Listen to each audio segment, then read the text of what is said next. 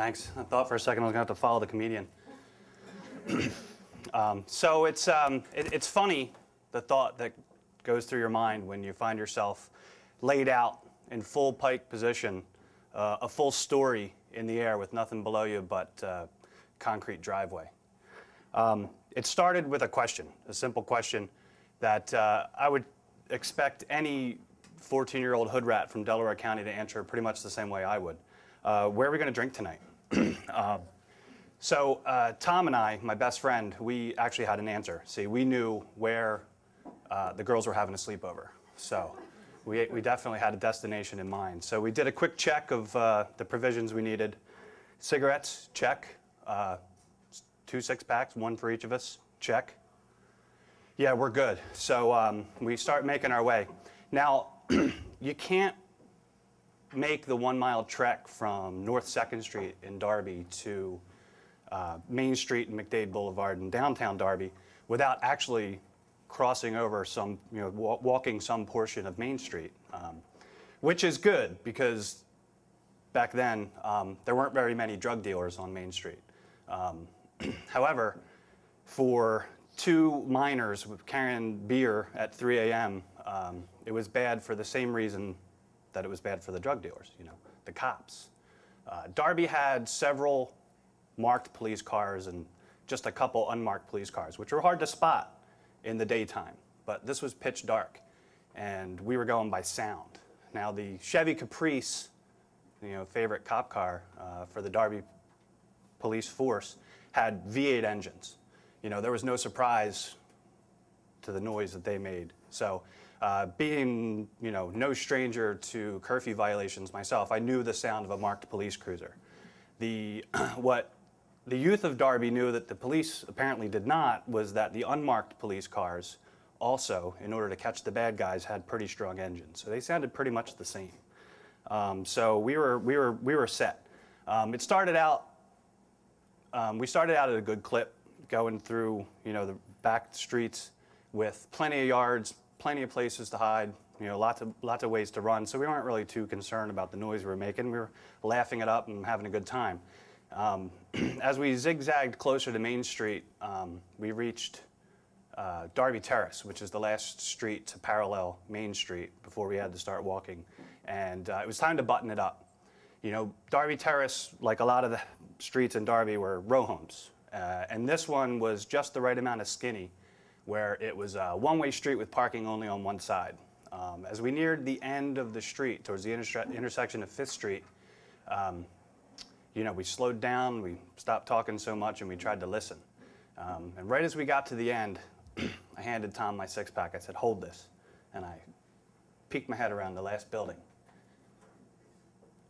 Around this time, um, I spent a lot of my Saturday nights that I didn't sneak out, um, actually inside on the phone with a radio DJ for Eagle 106.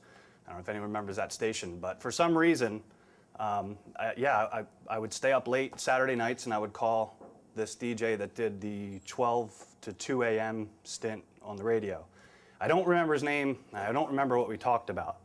Um, how it came about that I was talking to this guy and having these long conversations, interrupted by him, you know, speaking on the radio, uh, where he would sometimes record me, you know, screaming the station identification really excitedly.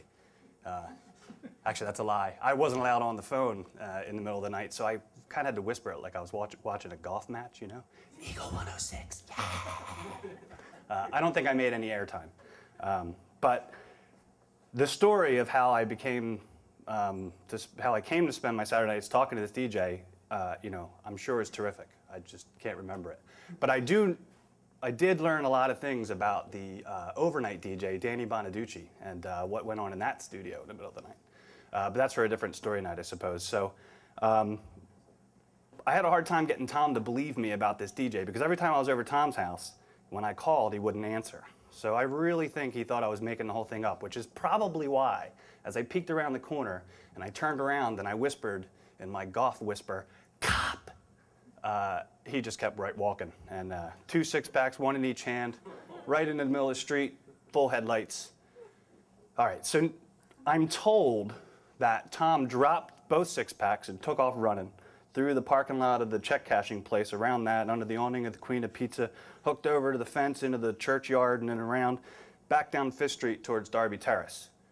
I was told that because I was hiding behind one of the parked cars um, and listening for clues as the cops chased my friend. Um, just a few minutes of that, and I started a light jog back down Darby Terrace, which was one way, the opposite way I, uh, I was running. And I'm crouched low and I'm trying to, I got to get somewhere out of this area because I don't know, if Tom's arrested and going to tell them where I was or what, but I had to scoot. So I'm, uh, I'm zipping along at a light speed when I hear a sound behind me. Now, Tom had made his way back towards Darby Terrace with the cops pacing him the whole way and figured, you know what, it's a one-way street. If I run down it the wrong way, the cops are in a car, they can't follow me. uh, he wasn't far down the street before he realized the error of his ways, and he just reversed directions because it was a skinny street. So the sound I heard behind me that gave me the hitch to my giddy up was the cops slamming on the brakes and tires screeching. Well, in my mind's eye, that was the cops rounding the corner at top speed, going up on two wheels as they were narrowing in on my location.